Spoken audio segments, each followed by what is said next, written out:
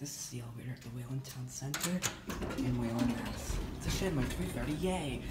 With high transitional fixtures. And it's got all pads around it. Floor count, service, service panel, medical emergency, fire service, phone, buttons, door controls, alarm. It says 125 feet per capacity, 3,500 pounds. Let's go. I hated how there's pads around it.